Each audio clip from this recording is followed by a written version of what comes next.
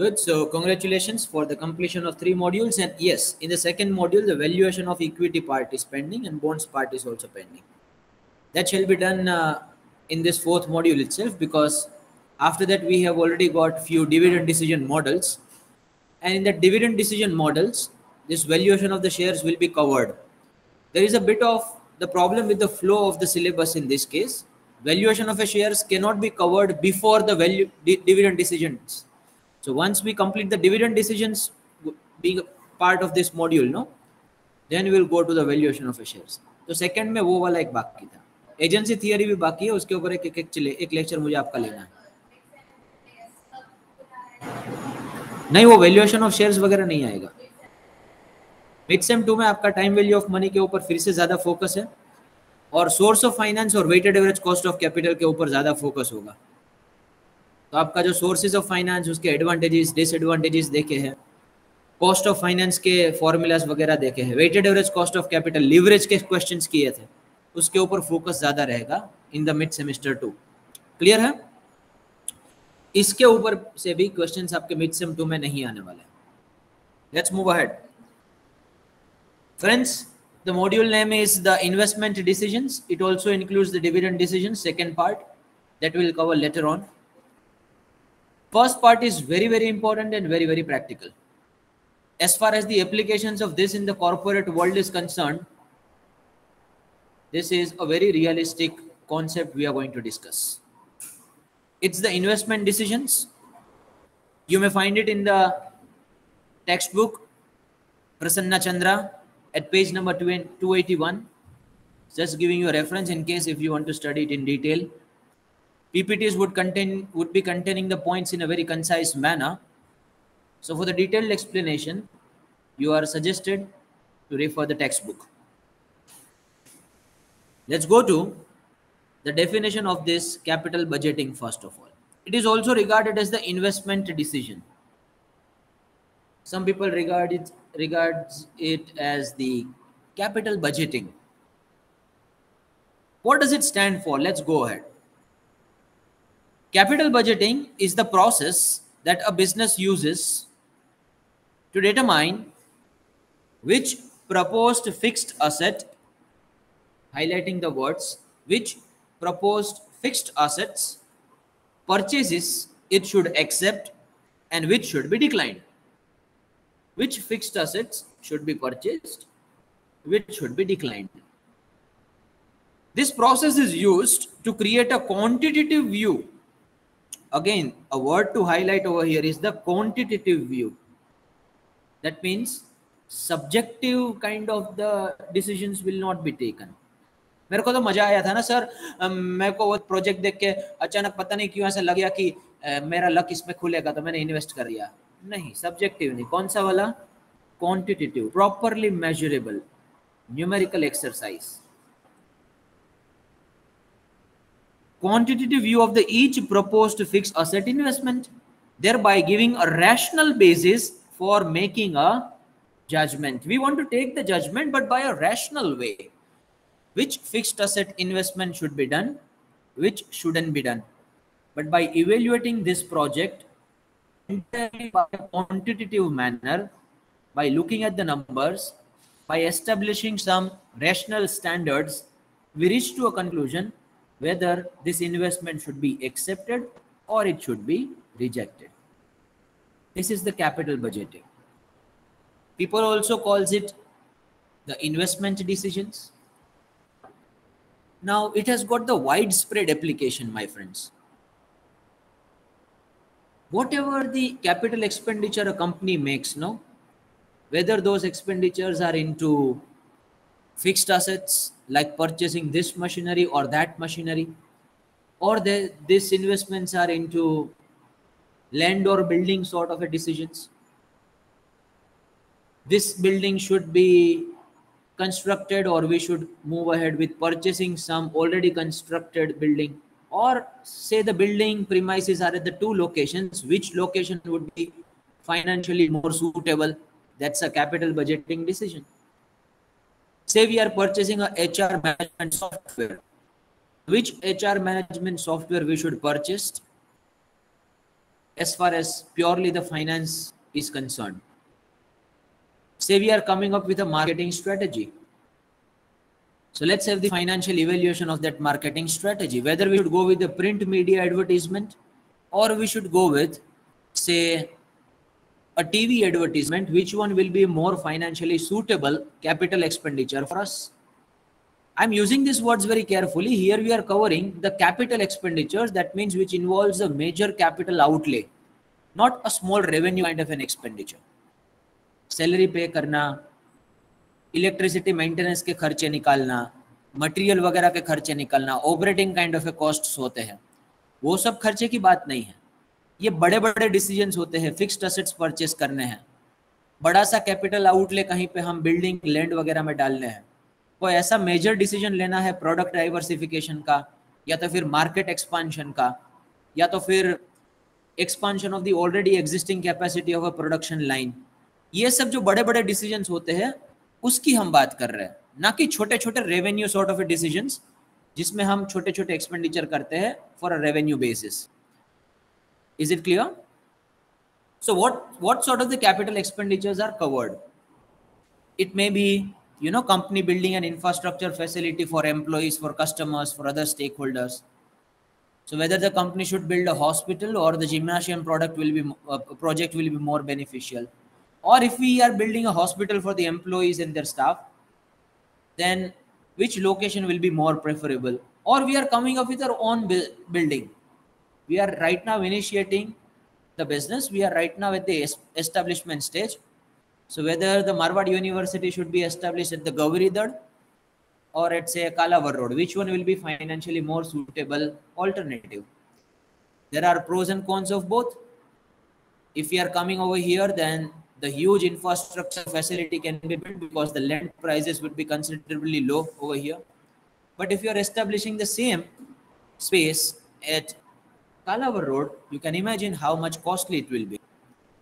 Now, if so much of cost will be there just in an infrastructural facility and the land building, then uh, you can imagine we will not be able to make it as spacious like this, as beautiful like this, or uh, Possibly other expenditures may also be cut down because considerable portion would have been spent in land and building.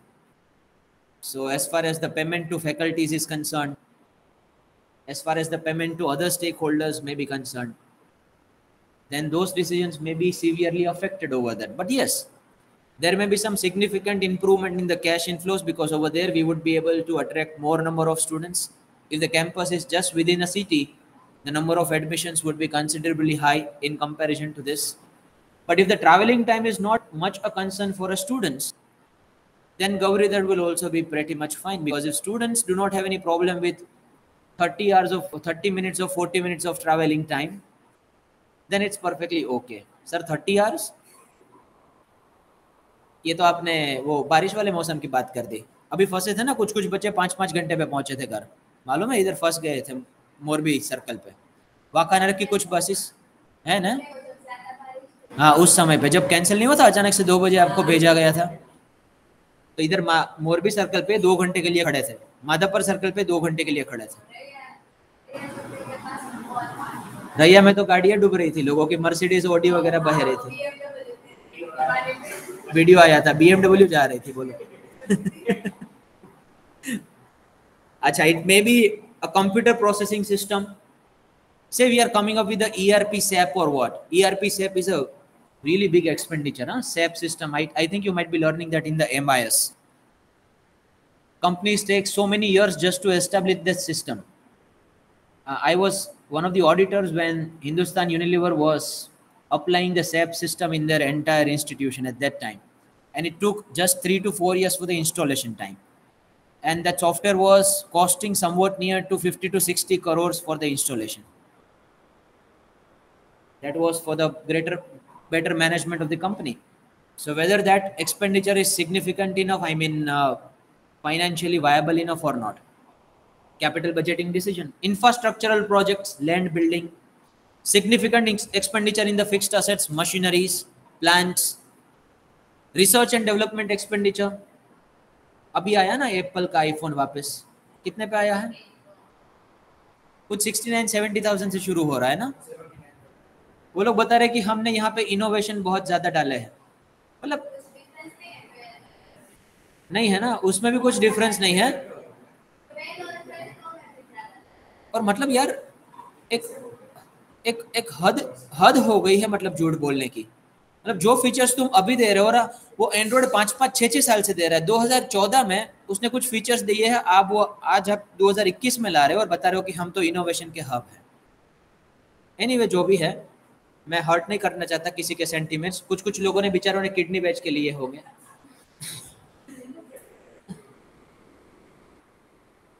अब research and innovation ये जो expenditure होते हैं, उसके long term effects होते हैं। Directly तुरंत तो उसके कोई बेनिफिट्स मिल नहीं जाएँगे कंपनी को। तो हमें प्रोजेक्टेड कैश इनफ्लोज और आउटफ्लोज उसके आइडेंटिफाई करने पड़ेंगे। पहले तो ये देखना पड़ेगा कि रिसर्च में हमारा सक्सेस रेशियो कितना होगा। हज़ार नंबर की डिज़ाइन को स्टडी करने के बाद एक आधा डिज़ाइन को हम मार्केट में लाएँगे और पॉसिबली उसका सक्सेस हो भी ना हो। तो इंक्रीमेंटल कैश इनफ्लोज इस पर्टिकुलर डिज़ाइन में से होंगे कि नहीं होंगे? ये हमें पहले तो इवेल्युएट करना है whether that decision will be financially viable और not that is a basically a capital budgeting decisions that's a very very complicated decision, my friends. Major research and development expenditure. Obviously, that's been covered over there. ऐसे बड़ी बड़ी हम बातें करते हैं ना sir कि, ये मार्केटिंग स्ट्रेटेजी अप्लाई कर दो, वो वाला कर दो, लेकिन उसको क्वांटिटेटिवली मेजर करना, उसमें पसीना छूट जाता है ब्रो ये तो हमने बोल दिया कि ऐसा कर दो तो कस्टमर सेटिस्फेक्शन बढ़ जाएगा क्वालिटी बढ़ जाएगी, आपका सेल्स बढ़ जाएगा। लेकिन कितने परसेंटेज से बढ़ेगा? है तुम्हारे पास रिग्रेशन कोरिलेशन लगाने के लिए? प्रोजेक्टेड कैश इनफ्लो कितने परसेंटेज से बढ़ेगा? प्रोजेक्टेड कैश इनफ्लो आपके आउटफ्लो से ज़्यादा होगा कि नहीं होगा? ये कैलकुलेशन किधर है? वही है capital budgeting so here we have got the true crux of every major decisions we take in a business where the major capital outlay is concern is it clear let's move ahead but sir, it's very problematic. It's very difficult to take these decisions, you know, because lot of complexities are involved. Number one it has got the long term effects Ketan sir को लगा कि Marwari university इधर डाल देते हैं तो इधर डाल दी फिर कोई कोई लोग ने उनको चढ़ाया क्या किया चढ़ाया बोले इधर नहीं आत्मीय के बाजू में ना अपना कॉम्प्यूटर उसे बाजू में रखने की ज़रूरत थी तब उनको एक साल के बाद मन बदल गया कि एक काम करते, चलो यूनिवर्सिटी को पूरा उधर ट्रांसफ़र कर देते, ऐसे होगा। कितना प्रॉब्लमेटिक है। ये तो लॉन्ग टर्म डिसीज़न है भैया, बहुत समय के बाद ये करना पड़ता है। वैसे ही अपन कुछ बिज़नेस शुरू करें, एक आधा कारखाना कहीं पे लगा दिया, फिर अचानक से मन हुआ, यार गलती कर दी, गलती कर दी। ये मवड़ी रोड पे नहीं रखना था, अपन एक काम करते, नाना मवा रोड पे शिफ्ट कर देते हैं होगा ऐसा?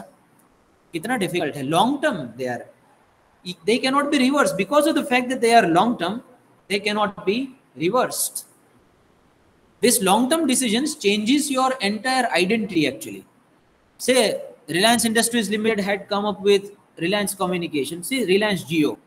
Now that has changed the entire basic characteristic of a company. The company which was primarily known for the petroleum products and the processing of this crude oil and everything, natural gas. Now that company is known by its telecommunication business. Entire branding has changed for Reliance Communication The image which they had set up in the minds of the customers before a few years, they have changed it entirely. Earlier, they were primarily focused into business to business transactions b2b they they did not involve into you know direct selling with the customers b2c business to customers but now they are into b2c business directly customer से deal करते हैं telecommunication में ले लो ले लो दो सौ रुपए का जियो ले लो ले लो सब्सटेंशियल आउटलेस बहुत बड़े खर्चे होते हैं भैया ये। ये ऐसे कोई आ, ऐसे कोई मज़ा आया और ऐसे कर दिया वैसे नहीं होता। है क्या नहीं? ये डिसीज़न है वो बहुत लॉन्ग टर्म के लिए होते हैं। मेज़रमेंट प्रॉब्लम्स अच्छा whether I should establish the Marwar university here at the Kalavar let's let's expand over there only many measurement problems comes over here in this. acha what will be the incremental number of admissions at the Kalavar, Kalavar road in comparison to Gauridhar if say the university will be established over there then what will be the incremental admissions? If 1000 number of admissions are happening over here and if 1200 are happening over there then 200 admissions are additional right? How to establish and measure that? Lot of research will be required right? Lot of statistical analysis will be required. What will be the incremental cost over there? Say we are building so much of infrastructure facility here then what are the incremental cost of infrastructural management and maintenance here which will be in addition to what we had done in uh, say Kalavar road ये measure करने में कितने problems होते हैं हैं कि नहीं और फिर डिसीज़न लेना है कि ये वाला अच्छा कि वो वाला अच्छा प्रॉब्लम्स होते हैं बहुत तो there are various measurement problems uncertainties these decisions are taken for pretty long period of time 10 years 15 years. और हमें मालूम नहीं है कि दो तीन साल चार साल में क्या होगा। हमें तो लग रहा था कि लोग बच्चे यहाँ पे पढ़ने आएँगे एडमिशन्स लेंगे, लेकिन कोरोना में वो लोग ऑनलाइन पढ़ने लगे। और अब ऑनलाइन की आदत लग गई। अब तो बहुत कंफर्टेबल है। अब उनको फ़िज़िकल लेक्चर पढ़ने की ज़रूरत ही नहीं है। यहाँ पे हमने इतना बड़ा इंफ्रास्ट्रक्चर क्रिएट कर दिया है, लेकिन कोई यहाँ पे आ नहीं रहा है, बोलो। उनको लगता है कि ऑनलाइन ही बेटर है। मैं मना नहीं कर रहा हूँ अच्छा होगा। वो हेबिचुएटेड हो चुके अब अनसर्टेनिटी आई तो आपके इन्फ्लोज कितने इम्पैक्ट हो गए हैं कि नहीं? अभी कुछ बच्चे बातें कर रहे थे कि, सर, कितने कितने लोगों का तो सेकेंड सेमेस्टर का भी फ़ीस देना बाकी है। वो पेटीएम में एनरोलमेंट नंबर डाल देते तो मालूम पड़ जाता है कि उस बच्चे ने फ़ीस पे की है कि नहीं। इतने सारे, अब मैं, एक अनसर्टेनिटी आई हमारे कैश फ्लोज की तो वाट लग गई। दो साल के कैश फ्लोज इम्पैक्ट हो गए, देखो। और फैकल्टी को तो सैलरी देनी ही है। ये एजुकेशनल इंस्टीट्यूशन के सबसे बड़े खर्चे होते हैं फैकल्टीज के सैलरी में। इतने साठ, सत्तर फैकल्टी हायर करके रखे, उनके पचास पचास, सौ, साठ साठ हज़ार, लाख लाख रुपए की सैलरी गिनो अब महीने की। तो इतना फिक्स्ड कॉस्ट कैसे ही निकालना और बच्चे बोल रहे कि हम तो फ़ीस नहीं देंगे। अब इनके फ़ीस कैसे निकाले? या तो फिर आपके पास सरप्लसेस होने चाहिए, या तो फिर मार्केट में से पैसे उठाओ। और इन लोगों ने अगर, इन लोगों ने अपने कैलकुलेशंस करके रखे होंगे कि अपन है ना पाँच छः साल में, दस साल में इतना रेवेन्यू जनरेट करेंगे, इतने एडमिशन करेंगे, उस सभी प्लानिंग की दजिया उड़ गई, बैठे बैठे दो साल में। हमारे पेबैक पीरियड जितने समय में हम इन्वेस्टमेंट को कवर करने वाले थे ना पैसे, उस पेबैक पीरियड तीन तीन, चार चार साल बढ़ गए। Uncertainties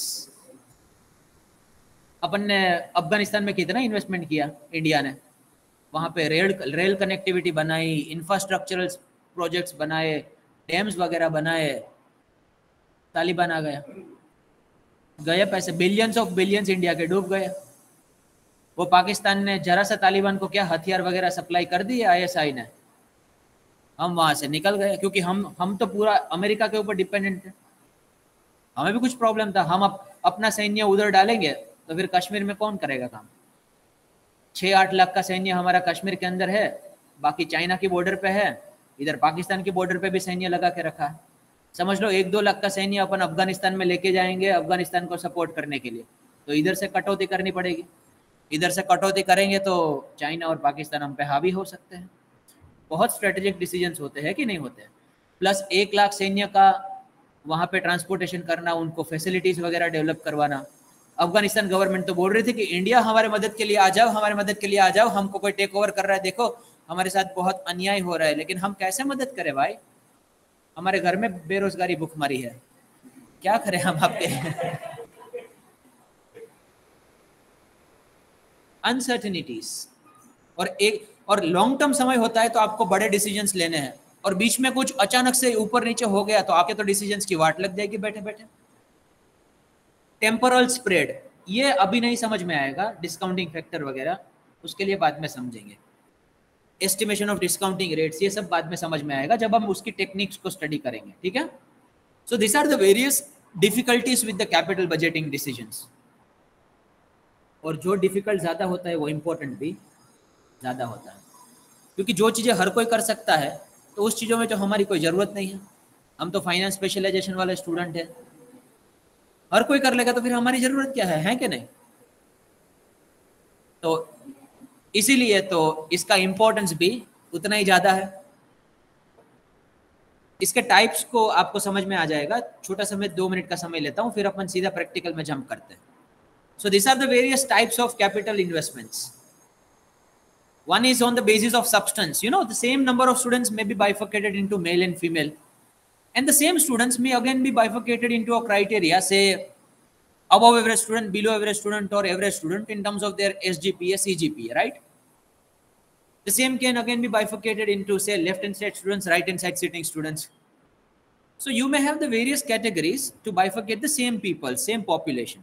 Similarly, we have got the various criteria to bifurcate the various types of investments. One is on the basis of substance, that means physical or intangible. Some capital investments are physical, land, building, machinery can be seen, right?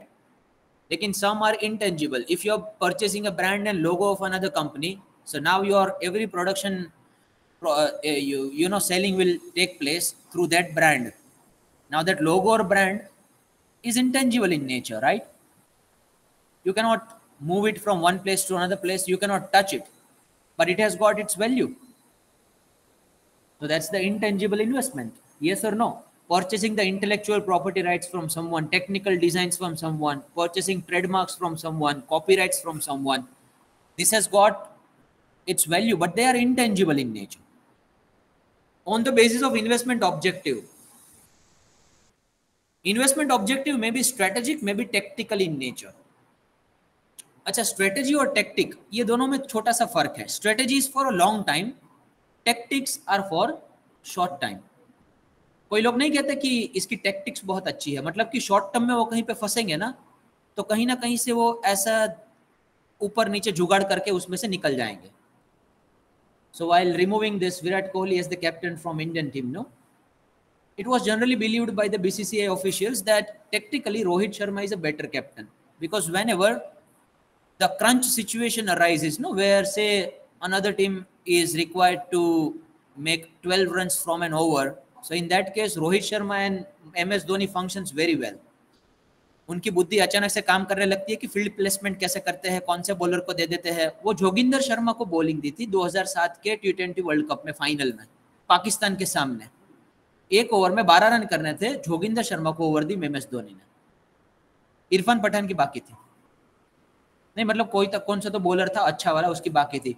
और जोगिंदर शर्मा बिल्कुल recognise वाला नहीं था। लेकिन फंसा और हम world cup जीत के भी आए। तो ये टेक्टिकल डिसीज़न है भैया। एक आप स्ट्रेटेजी बना के आओ कि अपन है ना पूरे मैच में एबीडी विलियर्स के सामने ऐसा वाला फ्लिड ऐसा वाला बॉलिंग करेंगे कि उसको है ना राइट हैंड साइड पे ऐसे स्विंग होते वाले बॉल डालेंगे तो एबी डिविलियर्स ड्राइव करने की कोशिश करेगा स्लिप में कैच हो जाएगा। That's the strategy of making but say that you are going to adopt for the entire match now लेकिन बीच बीच में आपने इधर से ओवर करना है कि दूसरे वाले से ओवर करना है?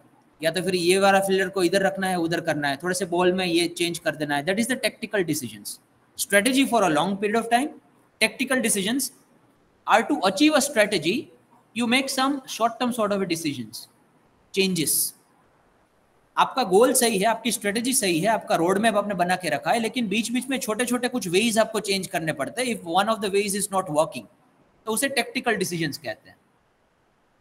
तो the decision may be strategic in nature may be tactical in nature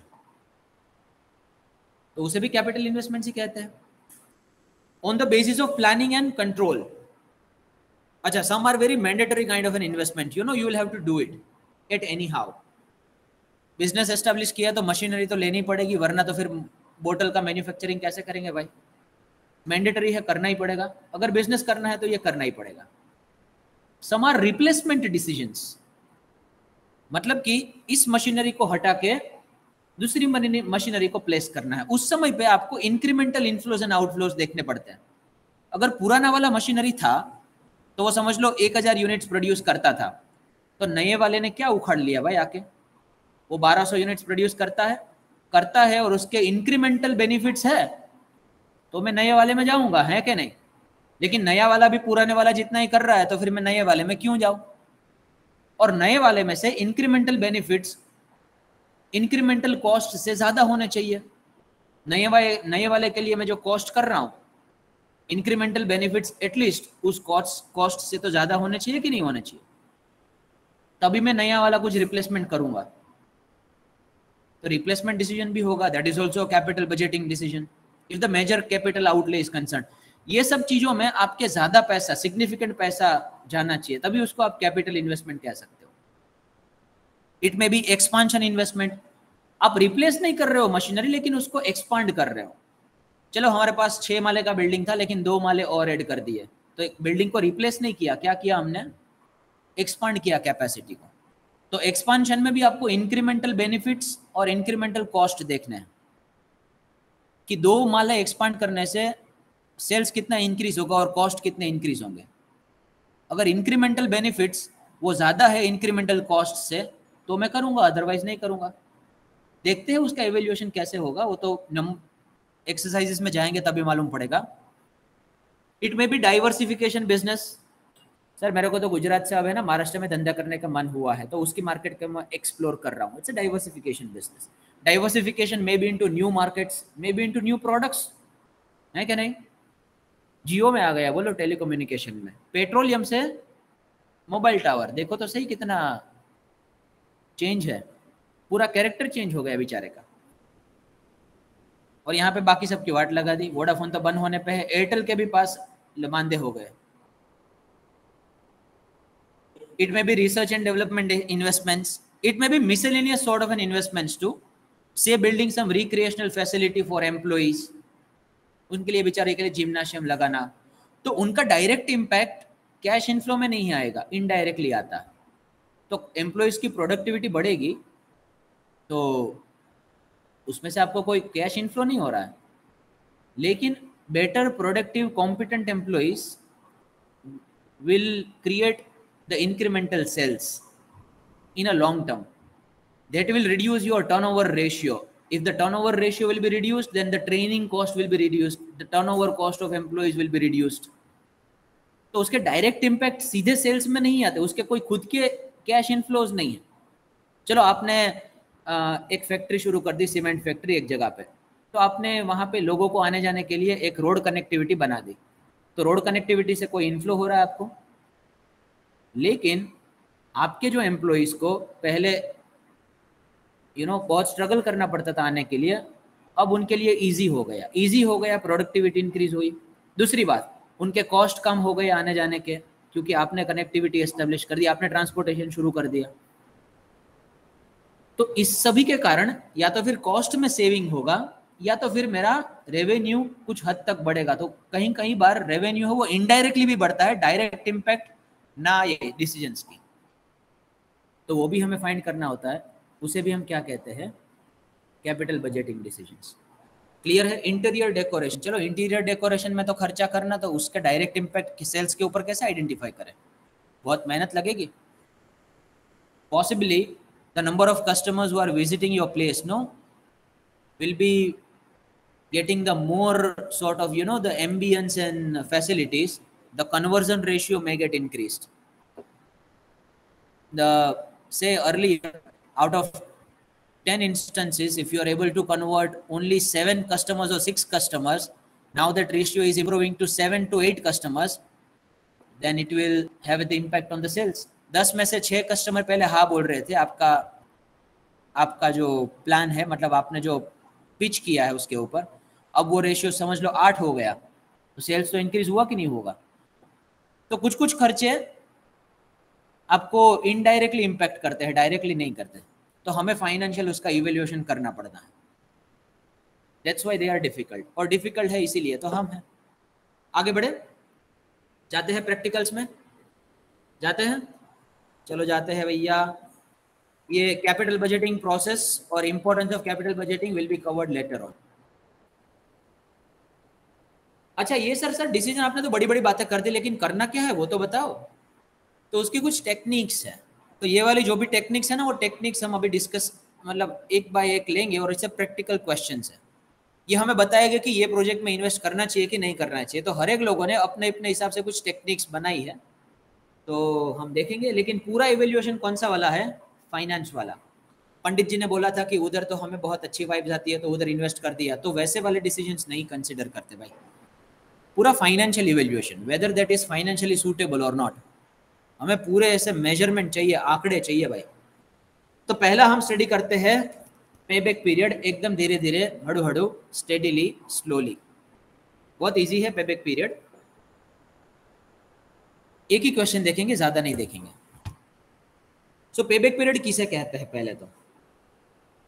Payback period is the length of time required to recover the initial cash outlay on the project initial cash outlay का मतलब होता है cash outflow मतलब कि आपका initial investment आप invest पहले करते हो, तब जाके कुछ इनफ्लोस होंगे, हैं कि नहीं? तो सर, मेरा जो कैपिटल का खर्चा मैंने किया है कैपिटल एक्सपेंडिचर किया है, वो कितने समय के अंदर पूरा रिकवर हो जाएगा? उसे कहते हैं पेबैक पीरियड समझ लो, मैं एक करोड़ रुपए का इन्वेस्टमेंट कर रहा हूँ और मैं एक्सपेक्ट करता हूँ कि हर साल मेरे को 30-30 लाख रुपए का कैश इनफ्लो इस इन्वेस्टमेंट में से होगा। और इन्वेस्टमेंट की लाइफ ऐसे पाँच ईयर्स तो कितने साल में मेरे पूरा खर्चा रिकवर बैक हो जाएगा? तो 30-30 लाख रुपए मैं रिकवर कर रहा हूँ सालाना। तो 30 मल्टीप्लाइड बाई थ्री मतलब 90 लाख। मुझे कवर कितने करने हैं? एक करोड़। तो एटलीस्ट ये मालूम पड़ गया कि तीन साल और उसके ऊपर कुछ पीरियड है जिसके अंदर मैं पूरा खर्चा मेरा रिकवर कर लूँगा। इसे कहते हैं पेबैक पीरियड इसके कुछ क्वेश्चंस देख रहे हैं तो अच्छी तरीके से मालूम पड़ेगा। अच्छा shorter the payback period better it is for us जितना जल्दी आपका खर्चा रिकवर हो जाएगा उतना हमारे लिए अच्छा है, है कि नहीं? लेकिन उसके कुछ क्रिटिसिजम्स भी है वो बाद में देखते हैं। तो उसकी फॉर्मूलाज है। मैं फॉर्मूलाज डिस्कस करने से पहले सीधा क्वेश्चंस में जाता हूँ तो आपको और अच्छी तरीके से समझ में आएगा। लेते हैं पहला question now we may solve it you may take a snap of it if you want to friends may I have confirmation from online students that it's crystal clear till now is anything there with where I should explain further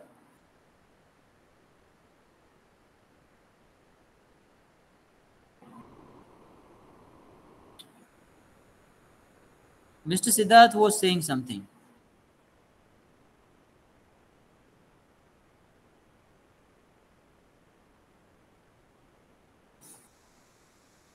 Siddharth, what you were trying to say, I couldn't understand. You may unmute yourself. I mean, it was relating to which point? I'm not able to get it.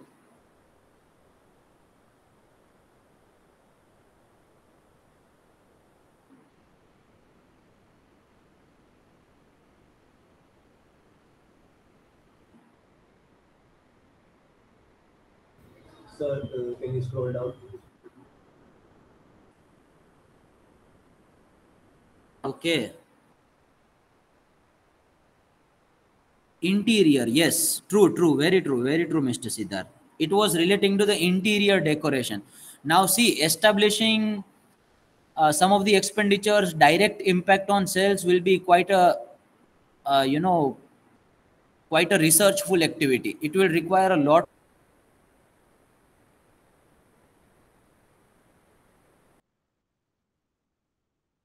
of research from our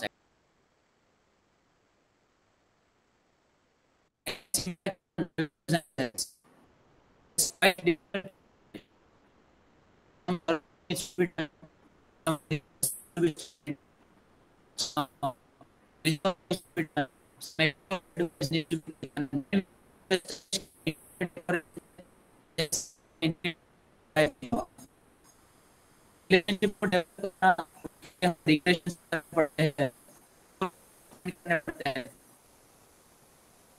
you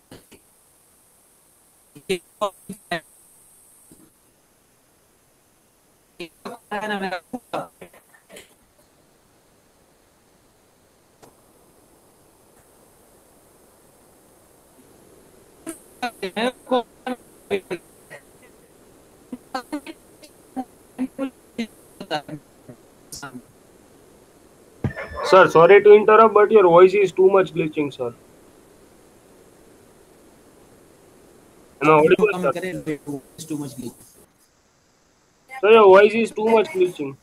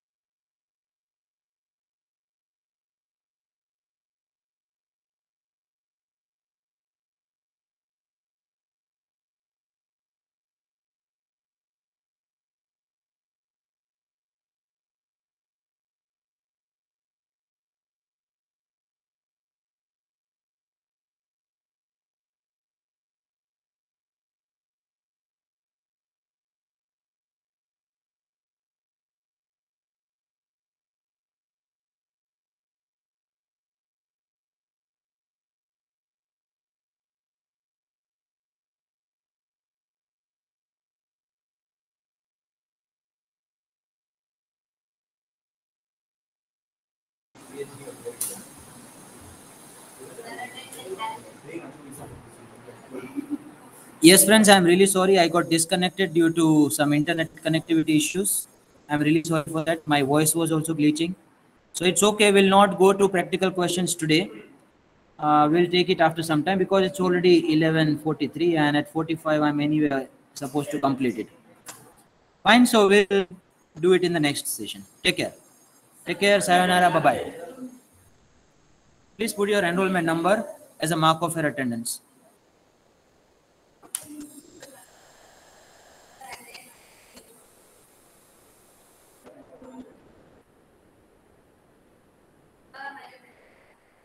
हाँ हाँ नाखी दिन बेटा मैं क्या ना पाएगा